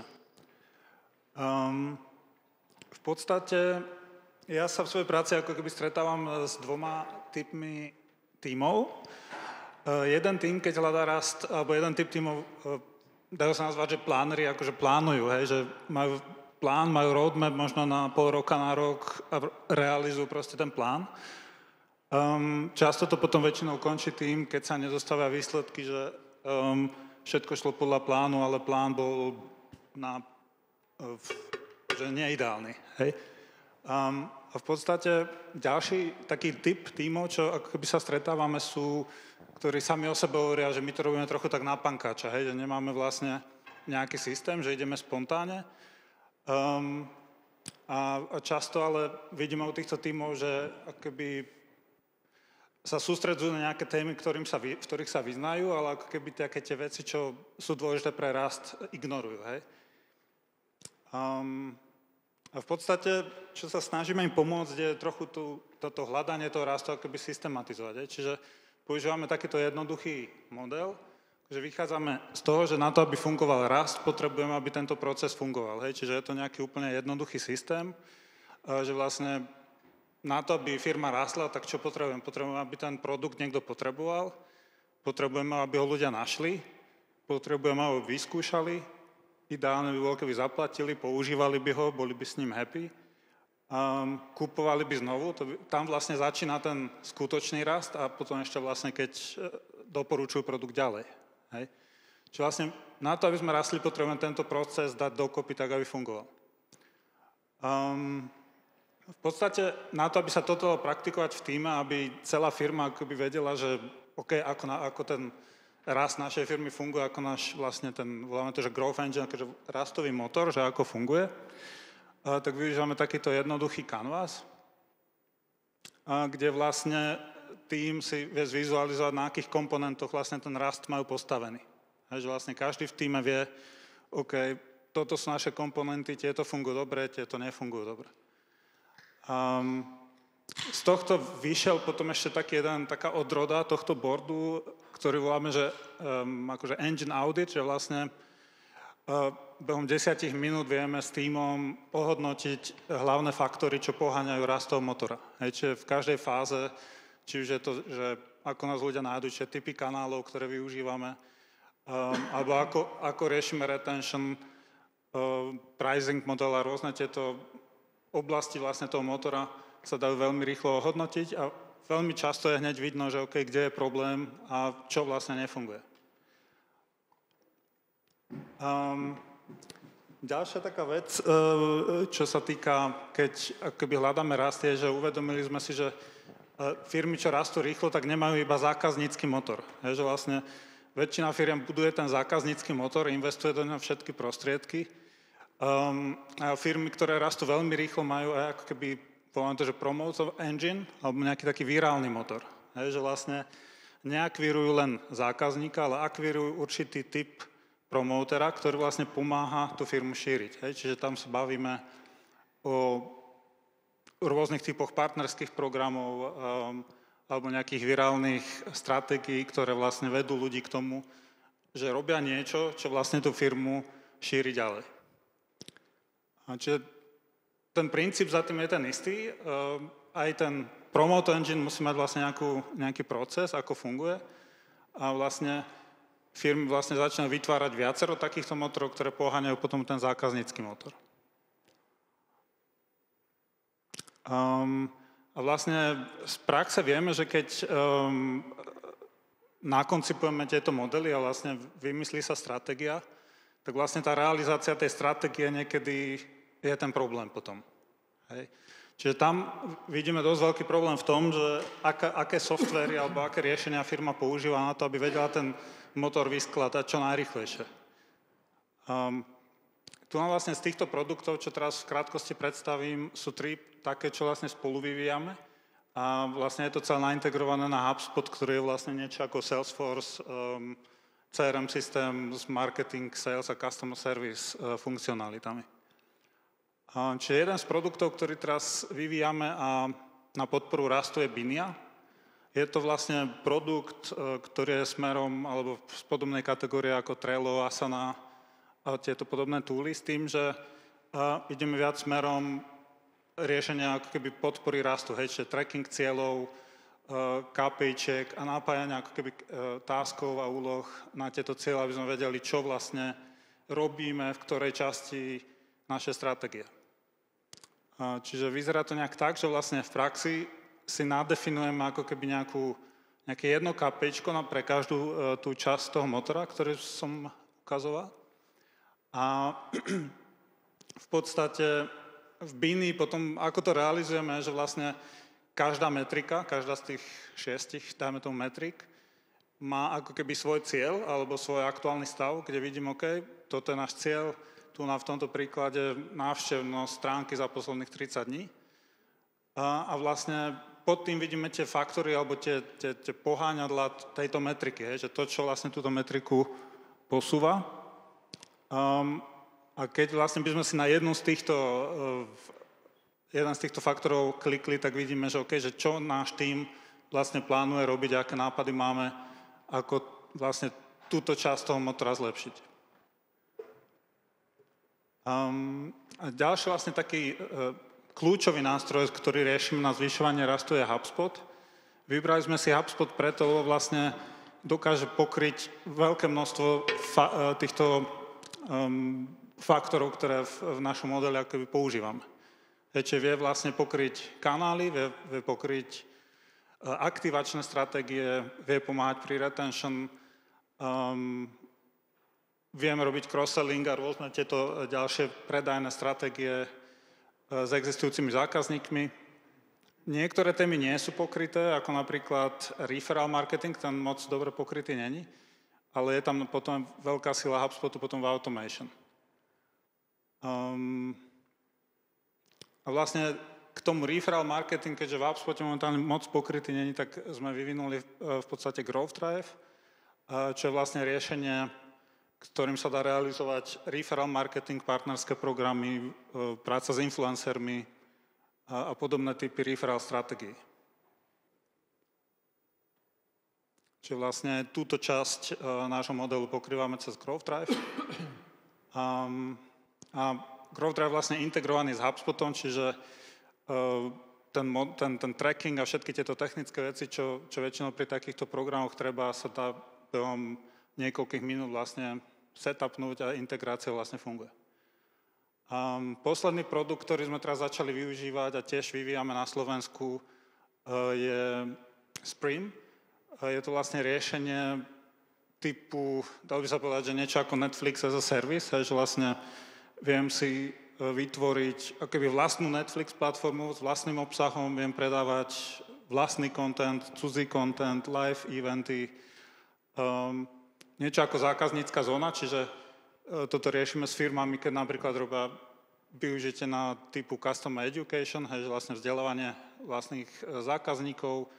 Používajú sa to aj na interné use cases, keď vlastne e, ide o vzdelávanie vlastných zamestnancov a, a potom vlastne pre, na predaj obsahu alebo know-how alebo budovanie komunít.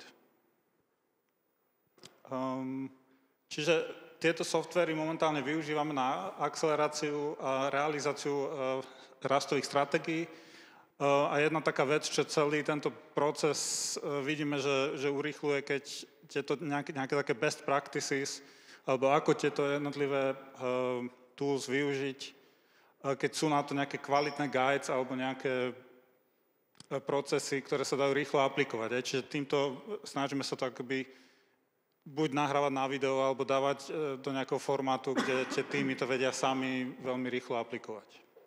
Čiže to je taká nejaká téma, ktorú riešime e, k tomu. A v podstate takto nejak je ten koncept tej acceleration u nás, že vlastne jedna tá téma je to, že potrebujem akoby nejaký vizuálny toolkit, kde vlastne celá tá firma uh, alebo celý tým má jasno v tom, že ako funguje rast a ako, ako je naša stratégia momentálne postavená. Um, potom druhá, tá, ten, ten pilier je ten software stack, čiže náš stack je tento, ale v podstate ešte používame ďalšie aplikácie, ktoré to doplňajú. A akceleračná platforma je miesto, kde vlastne sa tieto veci dajú rýchlo akoby naučiť, vidieť a inšpirovať sa hneď použiť v podstate. A pre koho sú tieto riešenia určené? Um, momentálne pracujeme často so startupmi, um, často ale aj s corporate startupmi, čiže uh, napríklad, neviem, firma Cross vyvíja nový produkt, um, tak sa vlastne tieto veci dajú aplikovať. Um, taktiež pracujeme pri zvyšovaní rastu alebo zavadzaní týchto technológií, ako je HubSpot. Uh, v tomto príklade pre Cross napríklad tu na Slovensku. Um, a často pracujeme aj akoby s akceleračnými programami, uh, ktoré vlastne sa snažia urýchliť rast portfólia projektov. Čiže tam uh, ide o to, aby čo najrychlejšie tie týmy mali systém a vedeli aplikovať nové nápady v podstate. A tu na jeden program, ktorý, ak poznáte niekoho, kto um, pracuje na nejakom social impact alebo na nejakom social startupe, uh, tak v podstate toto je vlastne globálny, globálna súťaž pre akceleračná súťaž, ktorú uh, organizujeme s HP a WorldSkills a má ako keby príhlášky do 3. júna, čiže ak niekoho poznáte, tak uh, mu to môžete doporučiť. V podstate to trojmesačný program, kde vlastne tie týmy uh, dostanú akceleračný support a sú tam finančné odmeny z finále uh, v septembri v Dubline. Čiže asi t- takto v rýchlosti, čiže ak máte otázky, rád zodpoviem, alebo nás kľudne navštívte pri našom stánku tu na vedľa. Ďakujem. Ďakujem veľmi pekne. Na ďalšiu prezentáciu pozvem k rečníckému pultu pani Martinu Golanovú zo spoločnosti Imper, ktorá je Sales a Development manažérkou. Nech sa páči. Ďakujem za pozvanie. Príjemné po obede. Ja som Martina Golanová a som súčasťou týmu spoločnosti Imper a Monitora. Som Sales a Development manažer a Poviem vám niečo najprv o našej spoločnosti. Naša spoločnosť eh, vznikla v roku 2011, založili ju Tomik, ktorý tu s nami sedí. Spolupracujeme s vyše 2000 B2B klientami v celej Európskej únii. V roku 2018 eh, spolu s Lubom a s Myšom bola založená slovenská pobočka Monitora. A čomu veríme? Veríme v to, že obchod potrebuje data a chytré dáta nám pomáhajú realizovať úspešný obchod. Dneska na stánku ste sa stretli s mojimi kolegami. Je to Lubo Šimášek, CEO Bratislavskej a slovenskej pobočky a kolegyňa Karolína Sámelová, ktorá je expert na naše riešenie monitora. Čo sa týka vývoja obchodu, určite každý z vás si pamätá 90. roky. Obchodníci, dá sa povedať, že nemali k dispozícii žiadne dáta a vyhľadávali ich väčšinou v tlačených katalógoch, neskôr v internetových katalógoch a tých dát bolo veľmi málo. Neskôr prišla doba intuície a obchodníci veľmi podstate reagovali na to, čo bolo v minulosti. Čiže ak im niečo fungovalo v minulosti, využívali to naďalej, získavali klientov na základe referencií. Stále neboli nejaké uh, CRM systémy, v ktorých by sme mali data a ak aj boli, tak nachádzali sa tam veľmi duplicitné informácie. Ďalšie obdobie, obdobie data-driven sales, v tomto období dá sa povedať, že nastúpili dáta. To znamená, dokázali sme už e, obchodné príležitosti identifikovať strojovo a v CRM systémoch sme už aj tieto dáta mohli vyhodnocovať. Vedeli by sme si tam nájsť určite klientov a využívame to do dnešnej doby. V rámci automatizácie nám veľmi pomohlo automatizovať procesy obchodu, my aktuálne využívame automatizáciu určite pre obchodníkov v rámci či už vytvárania cenových ponúk alebo automatizácia v rámci vytvárania zmluv a podobných tlačiv. V roku 2030, alebo už teraz začíname, dá sa povedať, a postupujeme ďalej v rámci využívania umelej inteligencie. Umelá inteligencia už v dnešnej dobe dokáže nastavovať nielen komunikáciu, dokáže nám identifikovať príležitosti, dokáže nám vyhodnocovať e, klientov, ktorých máme oslovovať a obchodníkom ponúknuť vlastne aj argumenty, ktoré môžu využívať v rámci úspešného obchodu. U nás v Imperia v monitore máme robotického kolegu Jakuba Novotného. Jakub komunikuje s klientami, my sme totiž to vyhodnotili, že spoločnosti alebo klienti, ktorí majú obrad 1,2 miliónov eur, máme u nich úspešnosť asi 8 Takže keď sa takýto klient u nás zaregistruje, tak Jakub s nimi komunikuje a v rámci tej prvotnej komunikácie nastavuje potom ďalší obchodný proces. Čo zefektívni dosiahnutie úspešného predaja? My to vnímame tak, že v rámci e, predaja je veľmi dôležité, aby sme vedeli zacieliť, komu ideme predávať. To znamená, dáta a naše chytré dáta nám veľmi pomáhajú v tom, aby sme sa zorientovali na trhu. Je dobre poznať, kde sa na trhu aktuálne nachádza naša spoločnosť, aký trh ideme osloviť a kto bude náš typický klient. Ušetrí nám to veľmi veľa času. Potom sú to kontakty. V rámci kontaktovania eh, je veľmi pre obchodníkov, a my keď sme sa pýtali našich obchodníkov, tak asi 30 eh, obchodníkov tvrdí, že je to tá najťažšia časť obchodného procesu, osloviť klienta. A preto, keď si to povieme na nejakom konkrétnom príklade, keď voláte do nejakej spoločnosti a dovoláte sa do na spojovateľa alebo na recepciu, tak je to trošku zložitejšie. Ako keď vďaka dátam viete, komu idete volať, máte k dispozícii konkrétny kontakt a viete to smerovať aj na konkrétnu osobu, ktorú oslovíte. Otvorí vám to o mnoho ľahšie dvere a ten biznis môžete rozbehnúť. Automatizácia, ako som už spomínala, v našej spoločnosti e, veľmi veľa dbáme na to, aby sa obchodníci venovali biznisu aby využili svoj potenciál a aby ten čas, ktorý e, potrebujú, naozaj využili v komunikácii s klientom. E, v rámci automatizácie my im na základe dát dokážeme e, veľmi ľahko ukázať, koho majú osloviť. Čiže im posúvame predajné príležitosti a identifikujeme ich vďaka chytrým dátam. Taktiež vytvárame pre nich ponuky pre klientov, tiež idú automatizovane, to sa týka aj cenotvorby a potom aj fakturácie. Čiže obchodník naozaj sa fokusuje na ten obchodný proces a na dohodnutie úspešného biznisu. No a v neposlednom rade reporting. Ako to už bolo viackrát spomenuté, v každej spoločnosti a v obchode hlavne je reporting dôležitý, pretože v rámci reportingu a našich riešení viete vždy dostať informáciu o tom, kto aký klient vás navštívil, aký klient navštívil váš web, dokážete si tam filtrovať informácie a využiť ich vo svoj prospech. Čo sa týka našich riešení, ja ich predstavím veľmi v skratke. Naše riešenie MERK, ktoré ponúkame klientom, je to databáza informácií. Máme tam vyše 4 milióny v súčasnosti B2B klientov na Slovensku a v Čechách.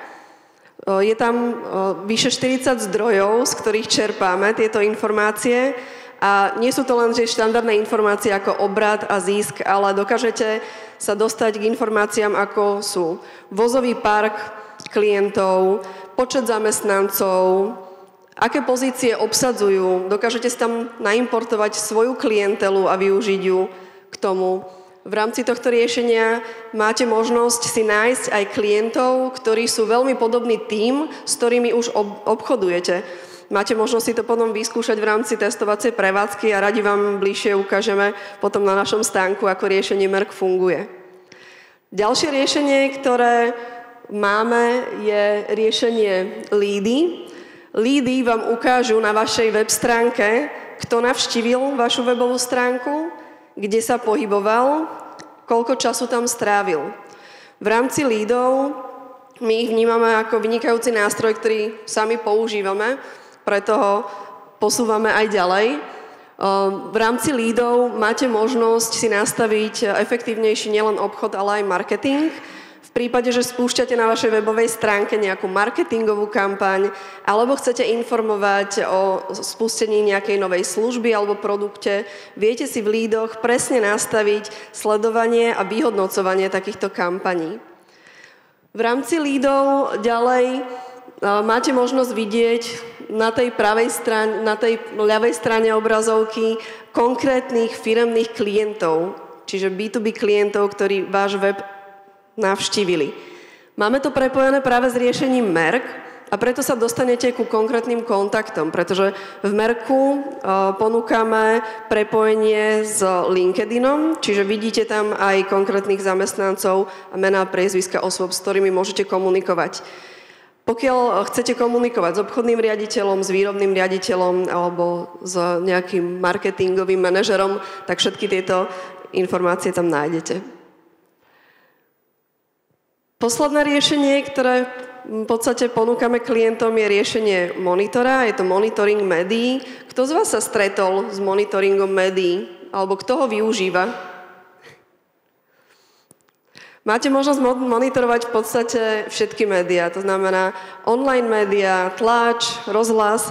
Prípade, že ho využívate, tak naozaj sa dostávate z monitorov do obrazu, pretože môžete si tam zadať témy, ktoré vás zaujímajú, môžete tam sledovať konkurenciu, čo sa deje, viete si tam zadať kľúčové slova, ktoré vás zaujímajú. Jednoducho naozaj z monitorov ste v obraze a viete, čo sa deje v tomto svete. Aké prínosy majú tieto naše riešenia v rámci obchodu a zefektívňovania obchodu? Tak jednoznačne je tam úspora času. My to vyhodnocujeme, že až 20% času pri vyhľadávaní relevantných kontaktov, pretože práve riešenie MERK vám ponúka relevantné kontakty, ktorými môžete oslovať vašich klientov potenciálnych. Potom každý tretí telefonát sa končí úspešným dohodnutím stretnutia. Je to tiež z našej vlastnej skúsenosti a s návolávaním klientov. Identifikácia až 96% firiem, ktoré zaujal váš web, ale neozvali sa vám, pretože naša skúsenosť je, že naozaj tí klienti, ktorí navštívia váš web, tak tvoria 4% aj takých, ktorí sa vám reálne a v realite ozvú. 100% vyplnenosť dát, to je práve vďaka chytrým dátam a práve zdrojom, ktoré v rámci riešenia MERK ponúkame. A 61% všetkých B2B obchodníkov začína online a je uzavretých vďaka chytrým dátam. Takže ak budete mať záujem si vyskúšať testovacie prevádzky našich riešení, môžete prísť za nami k stánku, alebo ak budete chcieť vidieť tieto riešenia, ako fungujú, tak veľmi radi vám ich predstavíme s kolegami, s ktorými sme sem prišli.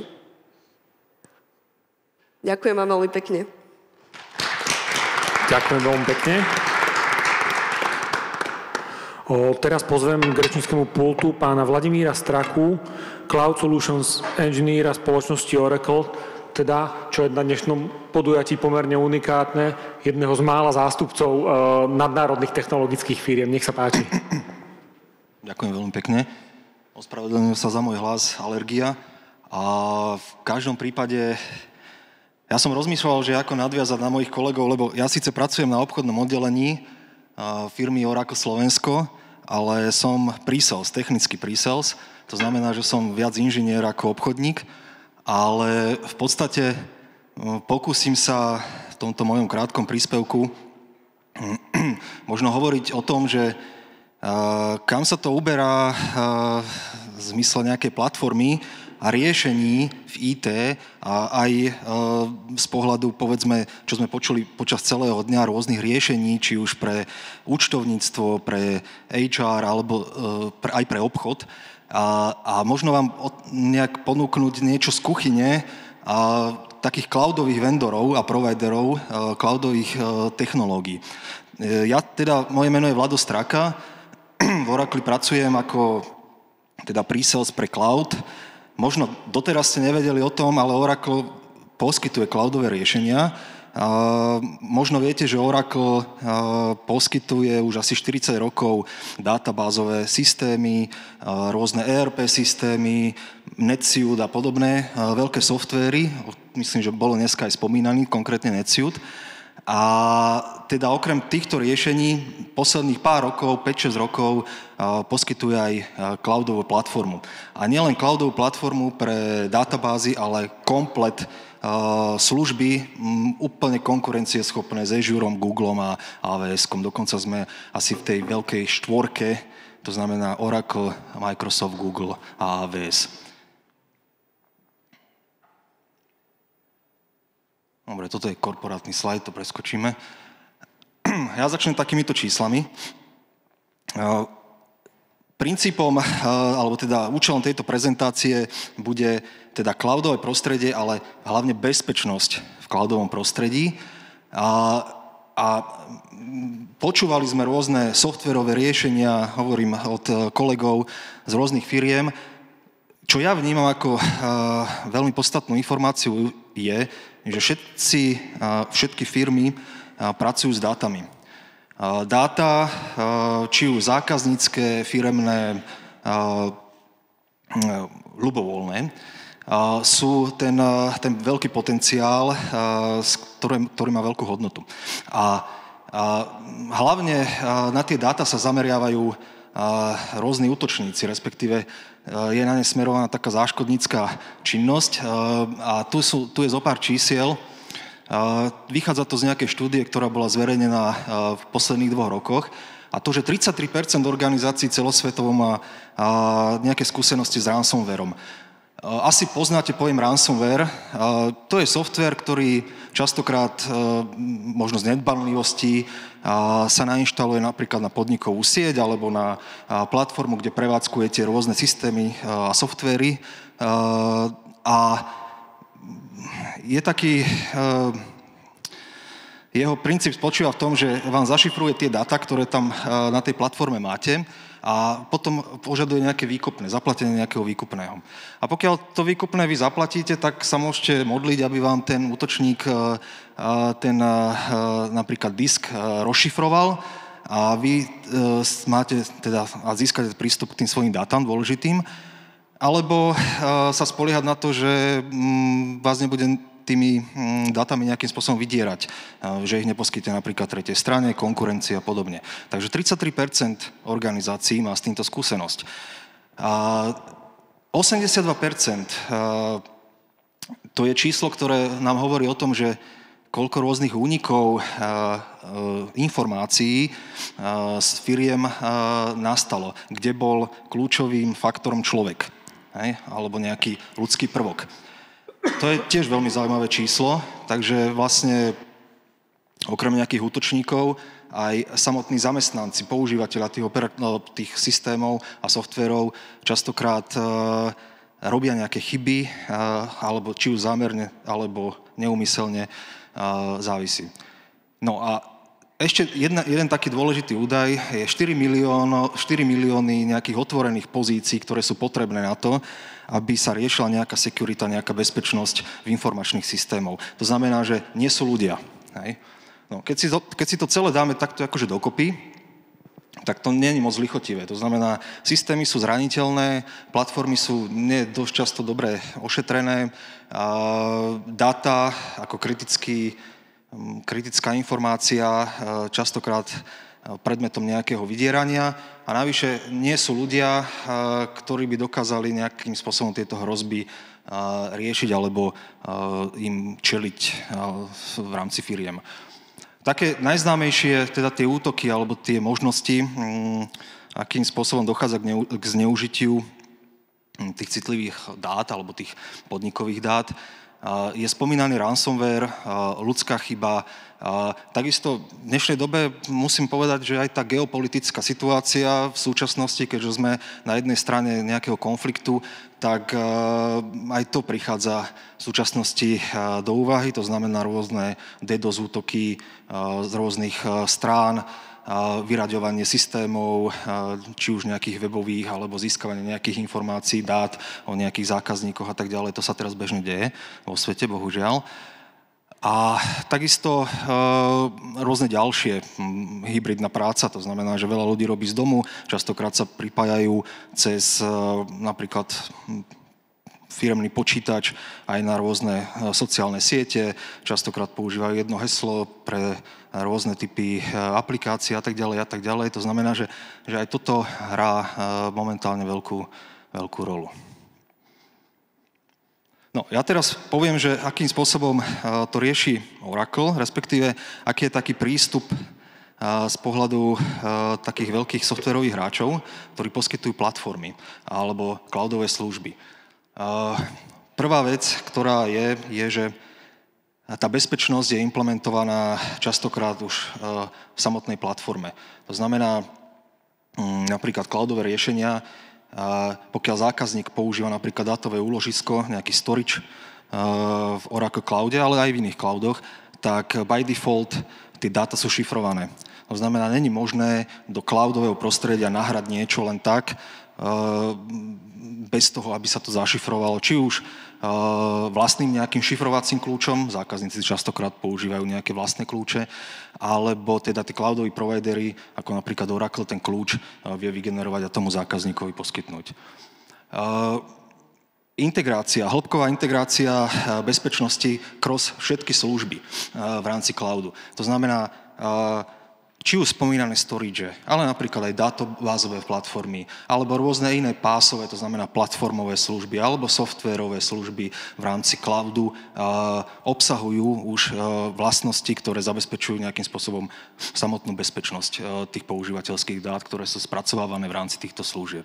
No a kompletná kontrola to znamená, že, že tí cloudoví vendory častokrát nenechajú zákazníka v tom osamote, nepovedia, že milý zákazník, tu má storage, ver tomu, že to je zašifrované a doví dopo, ale vo výsledku poskytujú nástroje alebo pomoc tým zákazníkom na to, aby mm, tí zákazníci nejakým spôsobom mali stále prehľad o tom, v akom stave, v akej kondícii tie služby sú,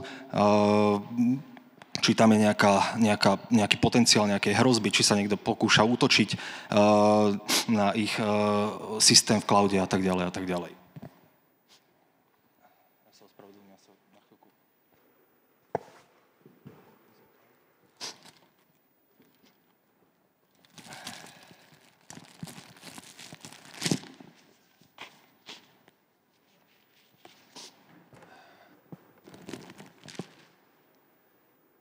Dobre.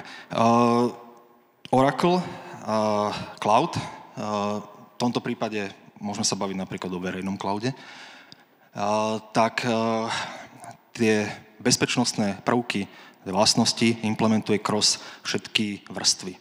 To znamená samotné storage, virtuálne mašiny, operačné systémy, takisto poskytuje služby, ktoré zabezpečujú bezpečnosť, napríklad rôzne typy firewallov, rôzne typy e, e, ďalších filtrov a tak ďalej, ktoré vlastne chránia tých používateľov nasadených informačných systémov v cloudoch. Hej? To znamená, že dodávateľia e, majú, majú v rukách nástroje, ktoré im umožňujú jednoduchšie implementovať tú bezpečnosť. Častokrát sa nemusia starať a zložito riešiť a prenášať napríklad na zákazníka e, formu nejakých licencií, dokupov rôznych špecializovaných bezpečnostných softvérov, preto lebo tieto vlastnosti a táto bezpečnosť je priama a integrálna súčasť toho cloudového prostredia. Eh, keď sa bavíme o cloude, tak tých prístupov, ako prevádzkovať aplikácie mimo nejaké dátové centrum alebo lokálne počítač niekde umiestnený u zákazníka je niekoľko. Doteraz asi najčastejšie používané slovné spojenie s cloudom je verejný cloud. To znamená, že niečo ako Azure, Amazon, takisto aj Oracle. Ale sú aj iné formy. Sú aj hybridný cloud, to znamená, že ten, ten, to hardwareové, tie servery sú umiestnené u zákazníka, ale tak tá, nazvime to konzumácia tých, tých softverov, ktoré sú na tom hardveri u zákazníka, sú formou služby. To znamená, zákazník si je na 100% istý, že data sú v dátovom centre u neho, ale celkovo ten, tá, tá, to používanie toho hardveru a tých služieb na ňom je formou, ako keby bol e, v prostredí verejného cloudu. E, cloud nie je nejaký black box, e, ktorý sa neintegruje s okolitým svetom a vznikajú multicloudové riešenia. Štandardne prepoje z napríklad Azure Oracle, kde napríklad aplikačnú časť bežíte na Azure, databázovú časť na Oracle sú úplne bežnou súčasťou súčasných riešení a teda multicloud je ďalší prístup. No a pokiaľ by zákazník z nejakého dôvodu mm, chcel alebo by bol nútený prevádzkovať cloud u seba ako keby celý, tak Oracle ponúka možnosť tzv. komunitného alebo dedikovaného cloudu. To znamená, v dátovom centre zákazníka vieme postaviť komplet jednak jednej obraz verejného cloudu ze vším všudy. Čo sa týka tej bezpečnosti, uh, Oracle ponúka ako teda ten, ten uh, platformový vendor uh, pre všetky tie uh, typy cloudov uh, riešeniem. Samozrejme, pokiaľ sa bavíme o databázach, tak uh, myslím, že da, Oracleová databáza vyvíja na 40 rokov. To znamená, teraz bolo 40-ročné výročie, a aktuálne je to verzia 23, uh, už sme aj zmenili číslovanie, ideme podľa rokov posledného dvojčíslia, lebo už ich bolo veľa tých verzií, tak uh, sama o sebe tá databáza má kopec uh, bezpečnostných funkcionalít a a čarda prvkov, takže a tá databáza je možné ju prevádzkovať či už v cloude alebo u seba doma na servery. Tak to je napríklad jeden taký prístup. A druhé, druhý prístup je kombinácia toho hybridného a multicloudového riešenia, kedy časť služieb, aj tých bezpečnostných, napríklad Web Application Firewall alebo Network Firewall môže bežať v Oracle Cloude a ten aplikačný stack môže byť napríklad v Azure a tak ďalej. Takže tie riešenia sú rozložené kroz e, všetky platformy. Oracle e, poskytuje e, public cloud a poskytuje bezpečnostné riešenia ako služby, ale nerobí to vlastným vývojom. Častokrát preberá alebo poskytuje riešenia tretich strán, uzatvára s nimi rôzne spolupráce. A jedna taká spolupráca je s Palo Alto. Ak poznáte túto firmu, tak to je taký najlepší alebo najväčší hráč v security na svete a vlastne jeho riešenie poskytujeme formou služby ako Next Generation Firewall v public cloude. Má to samozrejme svoje výhody. Nemusíte sa starať o nejakú inštaláciu, nemusíte robiť nejakú administráciu tej služby. Máte to kvázi dostupné na pár klikov a celá tá bezpečnosť je riešená formou tejto služby, takže si môžete byť 100% istí, že máte maximálnu ochranu vo vašom prostredí. No, jedna vec sú tie technológie, to znamená nejaké DDoS útoky, rôzne injections, SQL injections, XML injections, JSON injections a podobné. Druhá vec sú rôzne eh, nariadenia a regulácie, ktoré eh, súvisia s nejakou ochranou eh, dát. To je jeden taký príklad. Facebook a WhatsApp v rámci Európskej únii dostal dosť veľkú pokutu za nedodržanie GDPR. Z pohľadu mm, cloudu je možné sa na to pozrieť opäť formou nejakých služieb. A častokrát tie služby, ktoré, alebo tie prostredia, ktoré sú poskytované cloudovými vendormi, v tomto prípade od Oracle, teda od Oracle, tak splňajú rôzne požiadavky, majú radu rôznych certifikátov, ktoré sú potrebné na to, aby boli v súlade s rôznymi legislatívnymi požiadavkami, napríklad e, GDPR. Keď si to zoberieme v takom kompletnom balíku, že máme k dispozícii nejakú infraštruktúru, nejakú platformu, ktorá je bezpečná, navyše tam mám rôzne typy softvéru, ktoré sú poskytované ako služba, a, ktorá, ktoré mi zabezpečujú ďalšiu úroveň nejakej bezpečnosti, tak e, v takomto prípade si môžem byť istý, alebo teda kľudne spávať, lebo na jednej strane viem, že som ochránený oproti, e, proti nejakým e, technickým dieram alebo mm, formou útoku a za druhé, že som napríklad compliance GDPR. Mm, čo sa týka tej poslednej oblasti, tá kontrola, tak tých mm, rôznych setupov, ako môže to cloudové riešenie bežať, je niekoľko. Ja som spomínal ten public cloud, dedikovaný e, región.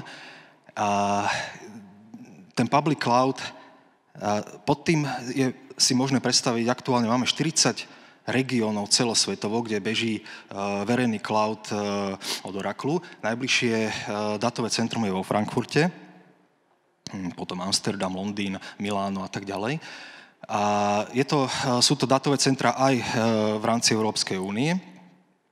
Častokrát zákazníci, napríklad veľké banky, by radi prevádzkovali svoje riešenia v cloude, ale v rámci nejakých e, regulatív e, im to nie je umožnené, tak práve Oracle prišiel s tzv. E, suverénnym cloudovým regiónom. Bude to spustené toto leto a poskytuje práve datové centra v rámci Nemecka a Španielska ako platformu verejného cloudu pre takýto typ zákazníkov s takýmito požiadavkami. Je to, bude to prevádzkované európskou entitou, to znamená žiaden, žiaden americký vlastník. Takisto to budú správovať ľudia, ktorí sú občanmi Európskej únie. Takže aj z tohto pohľadu to bude splňať všetky požiadavky. No a samozrejme, pokiaľ ten zákazník z nejakého dôvodu jemu by nevyhovovalo to riešenie takéhoto formátu, tak vždy má možnosť si ten cloud postaviť u seba. Tým pádom to splňa úplne všetky požiadavky, ktoré na to riešenie zákazník môže klásť.